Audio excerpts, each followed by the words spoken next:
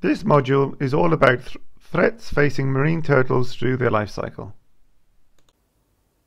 We will start this module by briefly reviewing two published case studies presenting threat matrices that identify the relative importance of the different threats. We will then progress to reviewing threats at sea that may affect all life stages of turtle from hatchling to adult and what can be done to lessen them. Next, we will explore terrestrial threats that impact nesting adult turtles, their incubating nests, and the emerged hatchlings. And lastly, we will look at the conservation status of the two species of turtle nesting in the Mediterranean. From Module 1, you learned about marine turtles and their life cycle, and therefore you will be able to appreciate how and where different threats will impact on their survival. Each life stage presents the turtle with its own set of issues. Let's look at tables presenting threat matrices from the two published papers and see what they highlight. The first study looked at a number of threats for marine turtle species around the globe, and I extracted the values for the Mediterranean populations. Scores of 0 to 2 indicate no or negligible impact of hazard, 3 to 5 low impact, 6 to 7 medium impact, and 8 to 9 high impact, and the three highest values for each are coded in shades of grey. The threats considered and listed here were coastal development, direct take, fisheries bycatch, global warming, nest predation, pathogens, and pollution. Strangely enough, no impacts were considered high for either species of Mediterranean marine turtle. The highest rated for both species was the medium impact fisheries bycatch, which one might have guessed would be the case with fisheries potentially impacting all life stages of turtle except eggs. This was followed by coastal development, which mainly affects the successful reproduction and population recruitment, and together with the highest impact, they cover the entire marine turtle life cycle. It is interesting to note that for both species in the Mediterranean, pollution was regarded as more impactful than either direct take or global warming.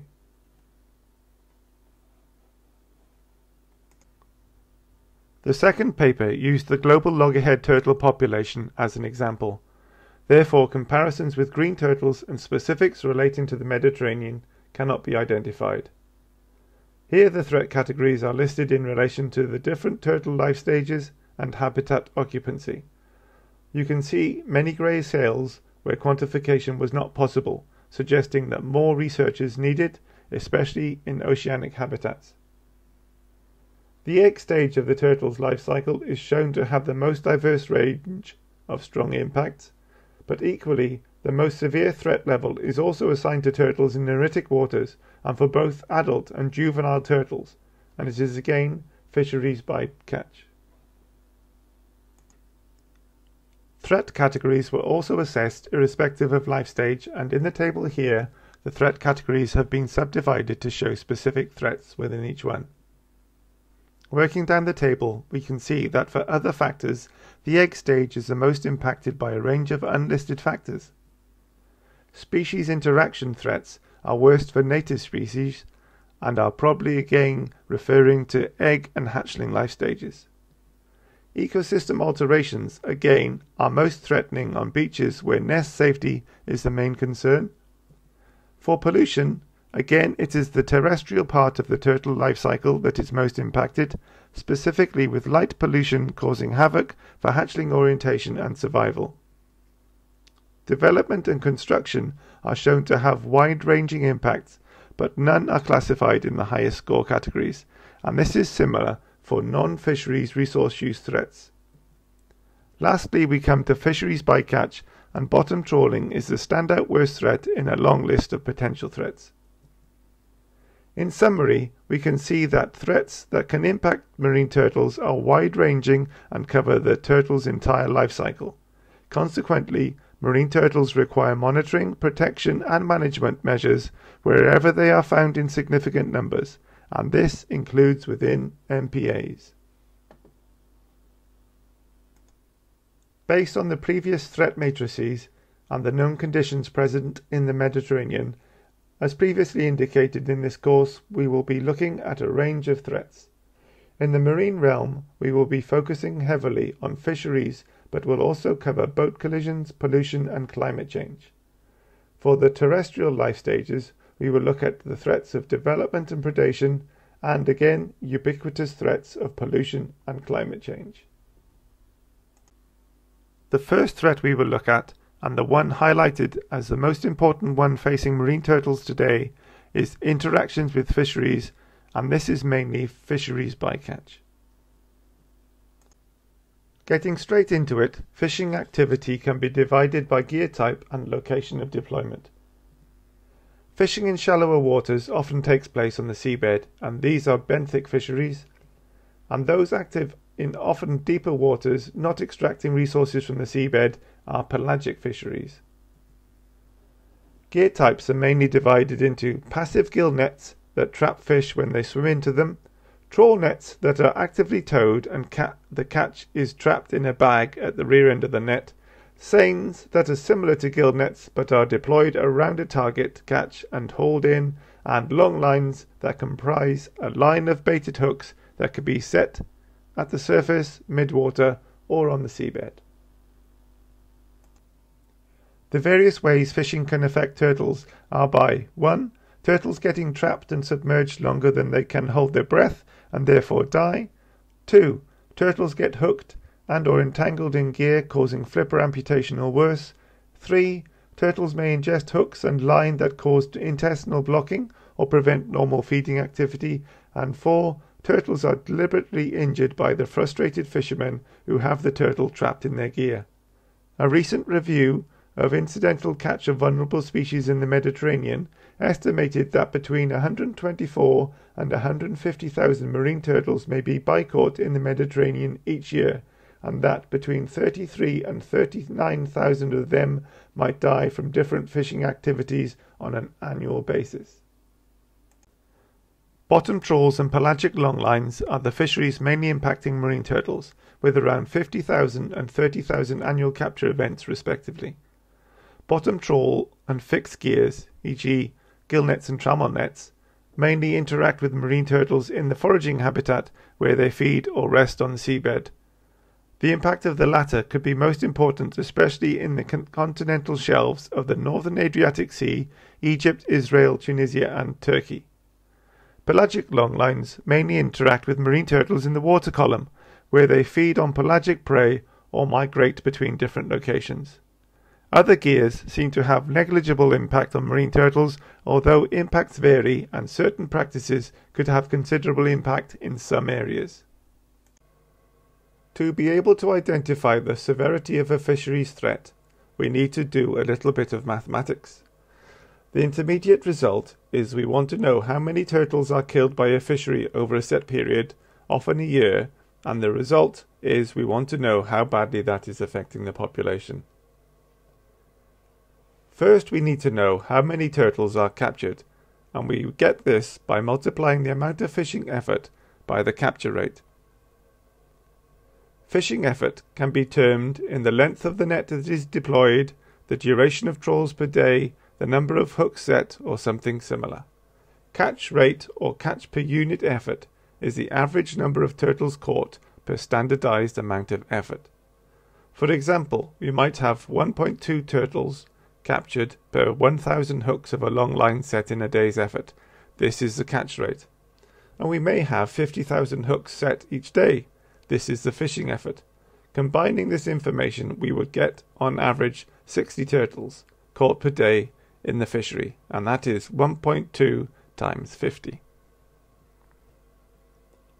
As the turtle getting caught in a fishery need not always end in a bad way for the turtle, Next, we need to know the number of turtle deaths caused by the fisheries interaction. And we get this by multiplying the number of captures by the mortality rate derived from those captures. For example, if 40 from every 100 turtles caught in the fishery die, then the mortality rate is 40%. Given the example above of 60 turtles caught per day, a mortality rate of 40% would mean 24 turtles are dying each day from the fishery. Mortality rates should be estimated for each fishing gear and for any variation in parameters that can affect mortality, such as turtle size, temperature, tow duration, and fish's behavior. From this, the two sources of mortality need to be identified. The first being mortality induced by the fishing gear, and the second, mortality induced by the fishes. For accurate impact assessment, information on the sizes of turtles being captured and killed needs to be recorded. As we know, the larger the turtle, the larger the reproductive value and hence conservation importance. Using all this data together with other vital parameters, mathematical modelling should then be used to quantitatively express how fisheries impacts are affecting populations. There are several ways to monitor fisheries impacts on turtles. Since resources for this work are often limited, it is important that efforts are optimized and that all parameters that can improve the quality of a study should be recorded. This topic is detailed in Appendix B of the previously cited 2008 report by WWF. In all cases, one should remain sensitive to the fishers' customs and operations. You are encroaching on their livelihood. This said, the methods to monitor fishing impacts are one-time interviews. These will give a snapshot of the situation and should reveal the fishers' attitudes to turtles. However, interviewing a swathe of fishers should not be a regular thing, as it may trigger reluctance to cooperate or even hostility. Self-reporting is a low-cost method that requires honesty from the fishers to record all relevant data and bycatch events. This method can be adopted broadly across the fishing fleet and logbook collections incorporated into the MPA staff routine. Using impartial on-board observers requires a lot more resources and is usually only adopted by a subset of all fishing vessels to get a representative sample of activity and bycatch levels. Using observers, it is possible to get more in-depth data per fishing trip and turtle observation, but from fewer vessels compared to self-reporting. The last and least effective way of monitoring fisheries impacts does not involve any interactions with fishers themselves and should be used as a complementary tool, and this is turtle strand monitoring. When stranded turtles are checked for evidence of fisheries interactions such as entanglement, ingestion of gear, or other external signs of intentional trauma. Now we've got some idea how to monitor fisheries and understand its impact on turtle populations, we will look at ways to minimize these impacts through adoption of mitigation measures. We will take examples from several key fishing types. Starting with trawls. For these, and for all fishing types, reduction of fishing effort in time or space will obviously reduce turtle bycatch, and for this we mean prohibiting fishing at certain times of the year when the presence of turtles is seasonal, such as at a nesting area, or prohibiting fishing at certain locations that are known turtle hotspots, which can be areas as small as a few kilometers square. Use of turtle excluder devices, known as TEDs, reduces turtle bycatch as the TED allows turtles to escape the net with generally no appreciable reduction in target catch. There is a cost to place a TED and some extra effort required in its maintenance, but it is considered an essential and often legally required device in some markets, such as US shrimp purchases. Shorter tow times will reduce the catch per tow, but will also reduce the chance that a turtle is caught and drowns in the net during the tow. In this way, total fishing time can be, can be maintained during a fishing trip but the ratio of setting and hauling time compared to tow time is reduced, making fishing slightly less efficient. We should note that turtles caught in trawls may appear comatose when landed, but with short-term correct handling and treatment, they can recover and be returned to the sea, whilst if they are dumped back to the sea straight away, they will die, but more on that later. As for trawls, Reducing long-line fishing effort in time and space will reduce turtle bycatch and will be most efficient and effective when employed when there is a likely high overlap between fishing effort and turtle presence. There are various means of reducing bycatch through gear modification. These include modified hooks that are less prone to catching turtles or less likely to be deeply ingested and catch turtles, thus simplifying their removal, using different bait that is less preferred or avoided by turtles, and the use of LED lights and pingers placed along the line that act as line avoidance indicators. Again, as for trawls, correct handling of captured turtles can increase their chances of survival, and removing any hooks shallowly embedded in the turtle contributes towards this. The last example I will give here is for drifting or set nets. According to the 2008 report, as for all fishing methods, a reduction in temporal and spatial effort can mitigate against turtle captures. The report indicates that no information is available for reducing catch rate and mortality, though the use of LEDs and pingers has been researched and shows some promise. Another global study presenting guidelines to reduce turtle mortality in fishing operations was published in 2009 by the FAO. These guidelines are further useful resource for MPA managers, and I reproduce here a table showing a range of methods to reduce the turtle captures and improve the outcomes of bycaught turtles. From the table we can see flagged in red where methods suggested to, to reduce turtle interactions with fisheries are unproven and conversely in green where there is good evidence that the indicated method has proven benefits. For example, the suggestion that encircling turtles can be avoided in purse seine fisheries has no supporting evidence from the efficiency point of view nor from an economic or practical sense whereas the use of turtle excluder devices in trawls has supporting evidence in all categories. Aside from the mitigation methods that can be imposed on fisheries, there are other ways of making a difference to the impact fishers have on marine turtles. Raising awareness in the fishing community is not the same as raising awareness of the issues to the general public, as fishers are 100% intrinsically invested in the subject matter you are raising. A fisher has got to fish. In the most extreme cases, they will have no income, or even the fisher's family does not eat if they cannot fish. In this context, raising awareness includes the understanding of the need to fish, but they can do so with a more sympathetic attitude towards the turtles, and with this sympathetic attitude, they can willingly fish and act in ways that minimize the turtle captures, and if and when they do catch a turtle, they behave in ways that improve the outcome for the individual turtle. Regarding the latter point of correctly handling turtles, I have found two key documents focused on the Mediterranean that can be used to raise awareness of fishers to methods of better handling and release of bycaught turtles. The first is the Sea Turtle Handling Guidebook for Fishermen. Using bright, colourful drawings, it guides the user to correctly handle bycaught turtles to minimize injury and to encourage recovery of comatose specimens. It is available in Arabic, Greek, Spanish, Croatian, Turkish, Slovenian, Italian, Maltese, and in English from the SPA/RAC website.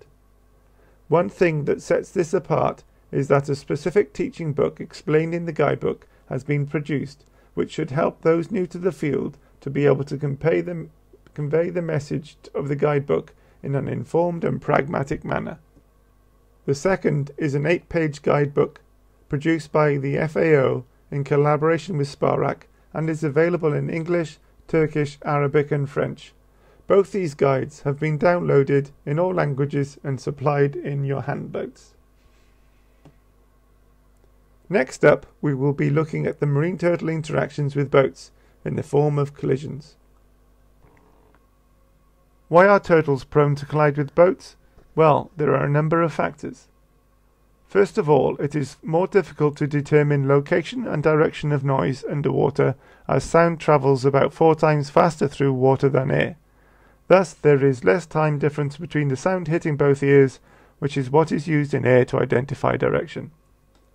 Secondly, turtles generally move and react slowly in response to external stimuli, and in my opinion, in general, they have not evolved the knowledge or ability to recognize the danger caused by speeding boats which is something they will not have experienced during the most of the millions of years they have existed. Then there's the fact that turtles need to surface to breathe. They can't just swim around and hide away on the seafloor and avoid boats at the surface. And this surfacing time is when they are most vulnerable. The combination of these three factors means that a mix of sea turtles and fast boats, especially in shallow waters, will result in injury and death for some turtles. Here are some unfortunate examples of turtle injuries caused by boat impacts from Zakynthos in 2018 and 2019, as published in Animal Conservation in 2021. Each row of photos shows an individual turtle with photos captured over time, with the oldest photos on the left. You can see that relatively mi minor damage has been caused to turtles A and B, with small injuries caused to the front and rear of the carapace, but the story is not so good for C. Not only did it have a history of collisions that eventually led to its death after the injuries as seen in C4, in image C3 it shows that it had interactions with fishing gear, with a large amount of fishing line protruding from its cloaca. Theoretically, it is simple to minimize or avoid turtle and boat collisions. The simplest to enact is limit the speed of boats traveling in an area where there are high densities of turtles but this may be difficult to enforce. Then we have the standard measures of seasonal closures of areas to boating if turtles are known to be in a location in certain periods of the year and specific area closure when turtles are known to congregate in specific hotspots that can be avoided. An additional measure that does not reduce the number of collisions but may reduce the severity of the impacts of the collision is through the use of propeller guards. These deflect the turtle away from the potentially lethal cutting motions of the propeller blades and limit the interaction to more generic blunt impact collisions. The next catch-all threat topic is that of pollution, which ranked quite highly in the threat matrices presented at the start of this module.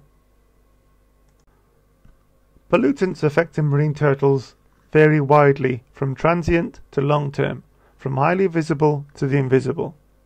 The two pollutants that get the most attention in media and probably the most detectable are plastic and oil pollution, with chemical and noise pollution making up the final two of the main impactful pollutants. A dishonorable mention also goes to light pollution. Although this is mostly known for its negative impacts on hatchling orientation on land that will be dealt with later, light sources at sea at night for example from boats and oil rigs, etc., act as lures for hatchlings that would otherwise swim out to the open sea, making them easy targets for predatory fish, etc., that congregate at the lights. This infographic paints a pretty grim picture of all the ways plastics and other pollution can end up in the sea, affecting turtles and other marine life. For instance, we have litter mainly involving plastics reaching the sea from careless people littering the beach, with the litter being taken out to sea. We have plastics from urban locations washed down rivers, eventually reaching coastal areas and further afield. And we have the special case of plastic pollution in the form of abandoned fishing gear, otherwise known as ghost gear, that is still capturing and killing non target species of sea life. In the Mediterranean case, it is highly likely that the marine litter in an MPA, especially a coastal MPA, will originate locally from rivers, coastal use, and fisheries, rather than having originated from abroad and some unknown bad guy. Consequently, it is important to have local and national management actions to reduce the potential sources of marine litter that may end up in your MPA. Taking the example of the National Marine Park of Zakynthos again, Monitoring undertaken there in 2016 and published in 2017 revealed several forms of pollution present in the greater area. The first results showed high noise levels in the area of high pressure for sea turtles and specifically around Marathonisi Island, but also in the caves of Keri. In fact, the highest noise intensity, as shown in the lower graph, where sound frequency is on the x-axis and noise amplitude is on the y-axis, corresponds to the frequencies that are within the hearing range of sea turtles, which is from 100 to 1000 Hz, and a turtle's optimal hearing range is between 100 and 400 Hz.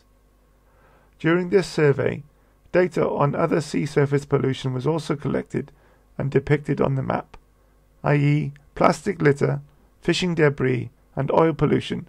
And you can see that sadly pollution is quite widespread in the greater area south of Zakynthos Island.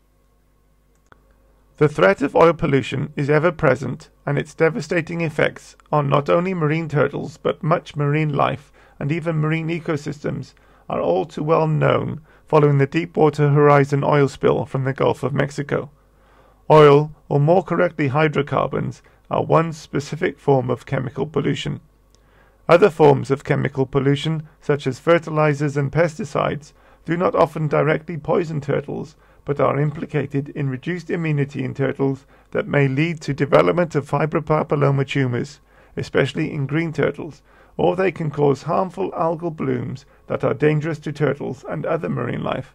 And finally, they can upset the balance at lower trophic levels, encouraging algal growth that outcompetes and decimates seagrass meadows, thus altering the possible food source available to green turtles and destabilizing the seabed from death of the rhizomes that help bind it together. Impacts of noise pollution are difficult to quantify, but a noisy environment has got to be less welcoming for marine turtles than a quiet one. At the extreme end of noise pollution, there are blasts created in seismic surveys. The pressure waves created by these blasts can in the worst situations cause physical damage to turtle soft tissues from which they may never recover. And, as this review paper from 2015 states, the effects of seismic surveys on turtles are not as well studied as they are, for example, for marine mammals, and inclusion of mitigating measures to reduce impact on turtles in survey areas is very rare. In summary, now knowing what are the main pollutants to look out for, we can move on to identify some resources on how to monitor their presence, which is the first step towards reducing their occurrence.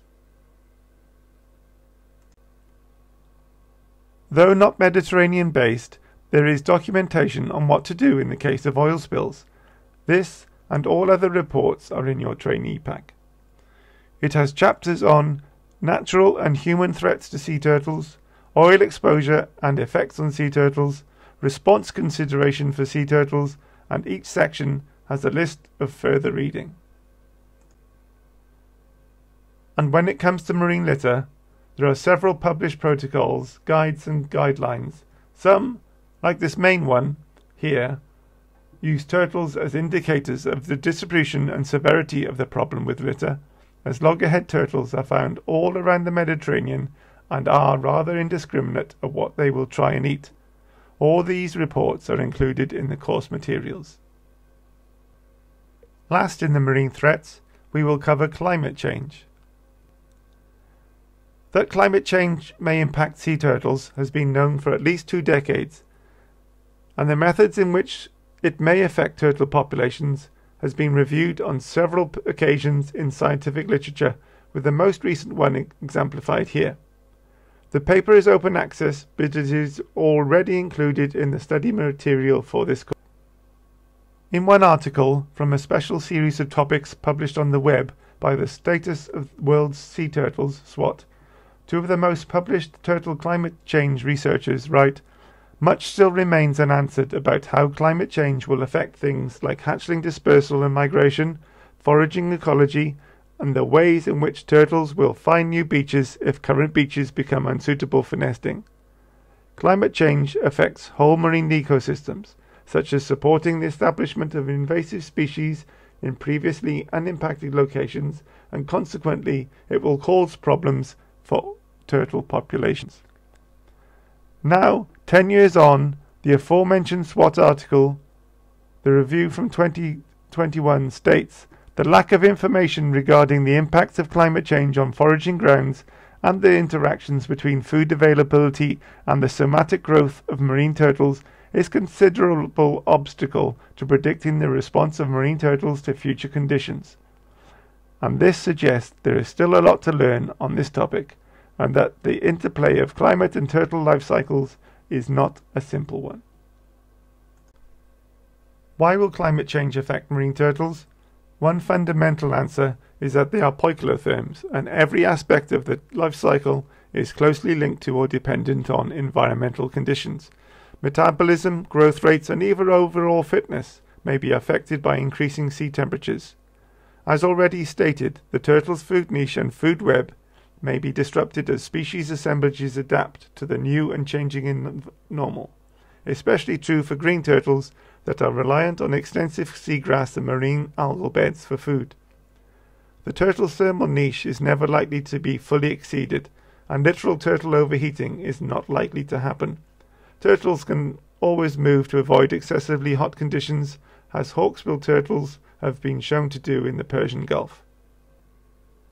But the areas with temperatures preferred by turtles may change along with distribution of their food, and hence the spatial niche of turtles expands or shifts to match the emerging conditions, potentially taking turtles out of established MPAs and into new areas with increased threats. Some negative effects of climate change might indirectly impact turtles. For example, there is potential for fluctuations in fish stock abundance, and this may cause a rise in perceived competition between fishes and the sea turtles, in, resulting in negative attitudes and behaviors towards turtles. Two possible scenarios would be that there may be an increase in turtle threat from deliberate human inflicted injuries as frustrated fishers blame turtles for lack of catch, or reduced fish presence may drive fishers to fish longer in different places or with different gear, with any of these factors having a potential to increase the negative impact on turtle populations. Lasting my list is the impact of climate change on the interface between marine and terrestrial, terrestrial habitats, which are the nesting beaches that are so critical for the persistence of sea turtle populations, but more on this later. Changes in suitable foraging habitat locations was recently modelled based on projections of the fifth assessment report of the Intergovernmental Panel on Climate Change and the RCP 8.5 emission scenario which was used as a worst case scenario to assess the risk of climate change. Two time ranges were compared and depicted in these maps. Present conditions were calculated from data collected between 1991 and 2020, whereas the future conditions were modelled for the years 2051 to 2080. The non-blue areas of the marine part of the maps are the ones to pay attention to. The dark purple areas are potentially new foraging areas whereas the orange areas are those that will be lost. As always with modelling, specific differences from localized areas can be taken with a pinch of salt, but the overall pattern of change can be considered indicative for future scenarios. We can see that under these models, juveniles will lose a large area of foraging habitat in the central Mediterranean, whilst gaining some in the eastern Ionian and the Aegean seas. And for adults, there appears to be a net gain in suitable habitat area, most of it appearing in the western Mediterranean. Contrast the situation for loggerheads with that of green turtles presented here with a different modelling exercise. Under a 2 degree centigrade temperature increase from present conditions, a huge potential foraging range expansion is modelled, especially in the western and central Mediterranean regions. Orange coloured areas implies conditions that are suitable for green turtles only in the warmer months, and red colours indicate year-round suitability of habitat. This sensitivity to climate perturbations is derived from the green turtle's proclivity to herbivory when larger than around 30 centimeters in length. Thus, changing environments have bigger impacts on this primary consumer. One should note that the potential foraging range expansion does not likely equate to increased populations unless new nesting sites are established, as the foraging sites distant from nesting areas, such as those in Box C on the lower map, are only like to be inhabited at first by strays that are lost to the source populations. This course is about getting started with the management of turtles in MPAs, and unfortunately, there are no simple short answers for how to manage turtles in the face of climate change. As stated, model distribution changes are too fuzzy, and we simply don't have the data to know what will happen when and where. Because of this, managers should adopt a precautionary approach and implement measures that can benefit turtles in a changing world. These can include expansion of MPA boundaries to incorporate turtle range shifts into previously secondary areas, introduction of seasonal protection measures along migratory corridors to minimize risks to turtles en route to their critical nesting or foraging habitats, and review and revision of conservation measures in an integrative adaptive management regime at regular intervals. This needs to be done as threats are not likely to be obviously more prevalent or apparent from one year to the next, but cumulative data can guide the manager to take the best course of action for emerging issues. Elaborating further on the integrative theme, the MPA manager should not consider turtles in isolation, but instead as part of the MPA ecosystem. This ecosystem comprises habitats whose suitability, as we have seen, may change dramatically for turtles, but also for other vulnerable and endangered species. Current biodiversity assemblages are likely to be placed under increasing pressure under climate change. A prime example of habitat and biodiversity changes that might come about are the loss of extensive seagrass meadows. These meadows provide food and oxygen to help animals thrive, and refuge and nursery areas for yet other species, including numerous fishes. And lastly, consider the human impact. Most obviously, fishing pressures are likely to change with the target species abundance and distribution changes, which may require modification to established restrictions. As, as fishing practices impact not only the target species, but also a variety of non-target bycatch that has no commercial value or may be of con conservation concern. Moving on from marine threats to sea turtles, we come to terrestrial threats that affect adult females, their clutches, and the hatchlings on their way to the sea. The first of these threats we will discuss is development. Development on and near sandy beaches will obviously affect turtle nesting success at established nesting sites, but one should keep in mind that sandy beaches not currently used for marine turtle nesting may become regular nesting beaches under the effects of climate change and are therefore worthy of protection. The main impacts of coastal development are that obstructions placed on beaches can hinder turtles from nesting or cause them to nest in less optimal sites, raising the risk of clutch failure. Developed beaches generally present degraded habitats compared to undeveloped beaches, as they are more prone to erosion, etc. People on beach can affect nest success. Through people on the beach at night scaring away the turtles that try to nest, to spiking clutches with beach umbrellas, or overheating clutches by building bonfires on top of them. The last two issues are pollution and predation, which we will address in a little more detail. First, we will address pollution impacts on nesting beaches. Together with physical development, pollution, and especially light pollution, can have disastrous effects on nest success. Artificial lights disorientate or misorientate emerged hatchlings so that they remain longer on the beach than they should, increasing the chance of being de- depredated, using up the limited energy stores, and running the risk of overheating if still on the beach during daylight. Beach litter can also directly affect nest success in several ways. For example, it can prevent adult turtles from successfully constructing a nest, or litter in the sand column can block hatchlings as they dig their way to the surface, preventing them from ever reaching the sea. The issue of predation may be a somewhat natural pressure on sea turtle populations, but given the other mounting pressures and the high proportion of nests that can be lost to predation, it is important to address this threat.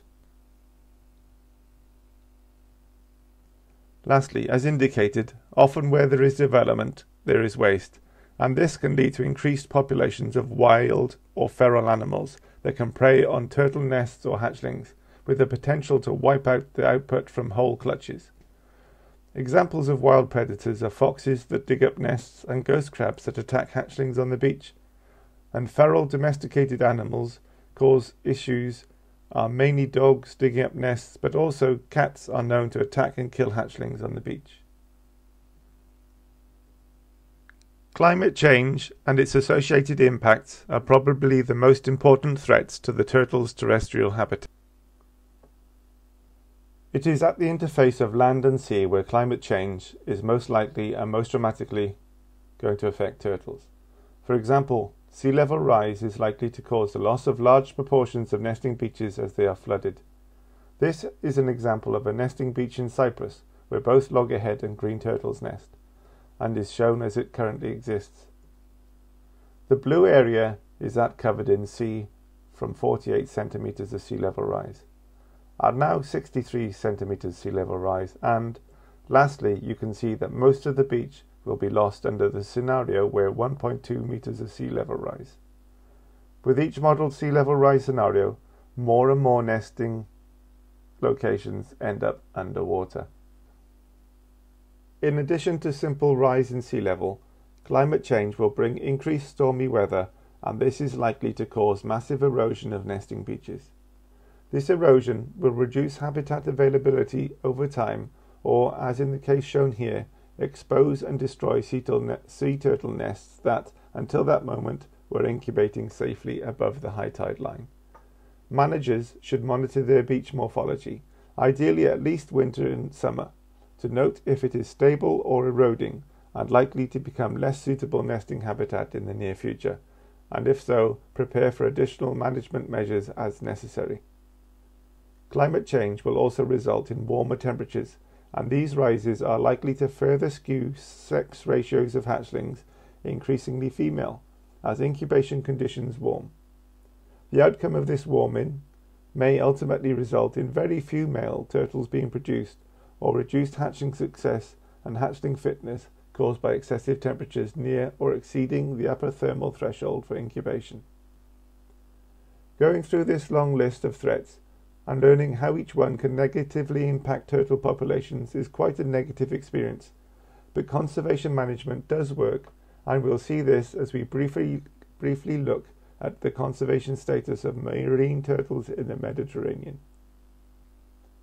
Overall, despite the range of threats impacting turtles, the population status in the Mediterranean is generally positive.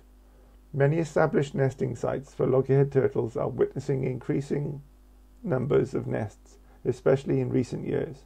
The same too applies for many green turtle nesting sites.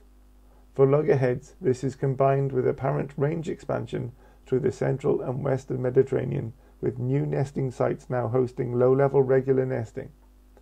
Both these phenomena are probably likely due to a combination of conservation actions that have been carried out in some places for 20 to 30 years or more, and climate change, which is changing the suitability of different habitats across the region.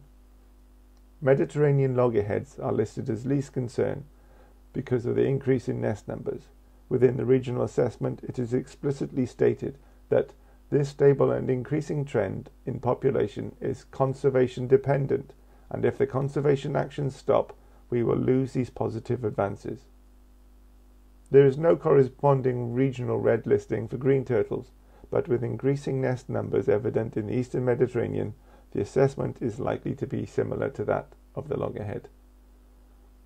Things really are looking up, but they are reliant on continued conservation measures. In summary, we must keep up the work we are doing if we want the positive status and trends to continue. Many of the conservation and management actions taking place to conserve turtles are a result of legal obligations required of the hosting country. So we will take a look at the legal conservation status of turtles in each country. As just indicated above, loggerhead and green turtles feature in the IUCN Red List of Endangered Species, but they are also listed as protected species under several other international conventions to which most Mediterranean countries are parties, and all bar one country has national legislation for the protection of sea turtles. Most notable are the Barcelona Convention and the Convention on Biological Diversity and CITES, to which all Mediterranean countries have signed up. Additionally, according to this table, all riparian countries except, except Syria have national laws that specifically address marine turtle protection. Both the EU, through its Marine Strategy Framework Directive, and the Barcelona Convention, through its ecological approach of the Integrated Monitoring and Assessment Programme, have processes in which marine turtle populations in the Mediterranean are assessed in terms of good ecological status. For both these initiatives, countries are legally required to acquire the national turtle status data to contribute to the regional assessments.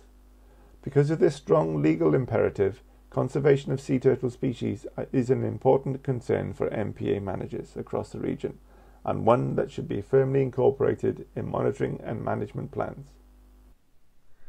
That ends the instruction part of the module. A Threats to Marine Turtles quiz has been created to verify you have learned the key facts presented in here. This is accessible from the course website.